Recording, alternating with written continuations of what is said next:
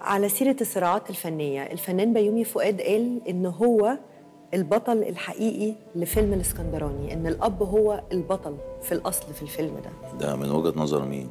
الأم؟ بيومي فؤاد هو قال كده. يعني إيه الأب وجهه يعني مش فاهم. هو بكر الإسكندراني في التريلر. يعني قال إن أسامة أنور عكاشة كاتب الفيلم كده. هو أستاذ أسامة على وكاش كلمه يعني؟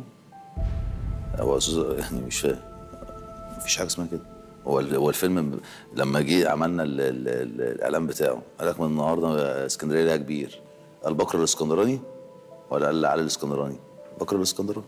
اللي هو الابن اللي هو الابن النهارده أستاذ مخرج كبير أستاذ خالد يوسف لما أعلن عن الفيلم ما هو صور- صورة مين اللي نزلت مع أستاذ خالد؟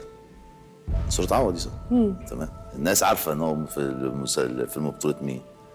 بطولة عوضي الناس داخلة إيه مش فاهم. يعني مين اللي, اللي عنده صراع؟ أنا عندي صراع مع مع, مع أنت لما تيجي تحدد البطل. شوفي بكر الإسكندراني صراعه مع مين؟ صراعه مع أبوه وصراعه مع ابن عمه. ما هو المفروض إن في الصراع ده بقى هو بيومي ثواني، بيقول. إن في الصراع ده الأب هو البطل.